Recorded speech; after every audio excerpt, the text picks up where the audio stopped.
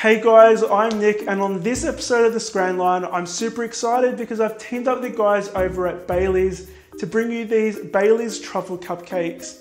Now, for those of you who don't know what Bailey's is, it's like this super smooth, creamy, sweet liqueur, and it's absolutely delicious. It goes perfectly in cakes like my Devil's Food chocolate cupcake. Now, in the center of these cupcakes, I've got some Bailey's chocolate sauce, a swirl of chocolate ganache frosting, which has Bailey's in it as well. Sitting on top of that is a Bailey's truffle, and I wanted to make these super special and sexy. So I decided specks of gold leaf. Now before we get stuck into the recipe, I want you guys to leave a comment down below telling me how you enjoy Bailey's. It might be in baking like this chocolate cupcake, or it might be like me and my mum, we enjoy a little bit in a glass with lots and lots of ice. Leave a comment down below and let me know. Let's get stuck into the recipe. These are the ingredients you need to make them. Okay guys, so to make these Bailey's truffle cupcakes, start off by preheating your oven to 160 degrees Celsius or 320 degrees Fahrenheit. The ingredients you're going to need are some flour, sugar, dark cooking chocolate, some Bailey's original Irish cream. Now I've got a cute little bottle here so it fits in with all of our other ingredients.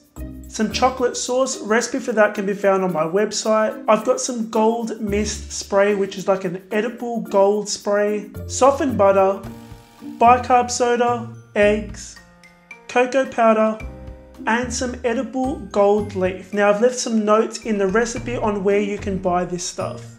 And guys, if you're watching this and you haven't subscribed already, make sure you hit the subscribe button I upload two new videos a week. We're gonna start off with our Bailey's chocolate truffles.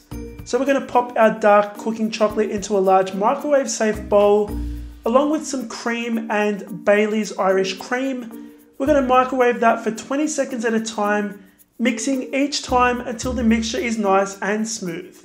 Then you can pop it in the fridge to chill for about an hour. Once your ganache has set and chilled, you just want to apply a little bit with your hands. Now, it can get a little bit messy at this point, but you want to grab about a tablespoon and a half and you want to roll these into some balls. I've just inserted the end of a paper straw into my ganache ball. You can use lollipop sticks instead if you like. Now I'm just going to dip the truffle into some melted chocolate, coat it really well, Allow the excess to drip off and you want to set these aside to completely set. Now once they've set, you want to just roll them around really roughly into that gold leaf and you just want to have some rough patches of gold on your truffles.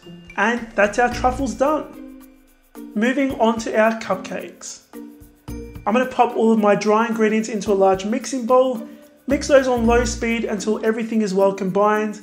If you're making this by hand or using a hand mixer, you can simply sift these ingredients together. Add your softened butter and mix until well combined. While it's mixing, add your milk and your eggs to a large jug, along with your Bailey's Irish cream and whisk those together. Add your wet to your dry ingredients in a slow and steady stream while your mixer is on low speed. Once you have it all in there, you can stop your mixer, scrape down the bowl and mix for a final 20 seconds.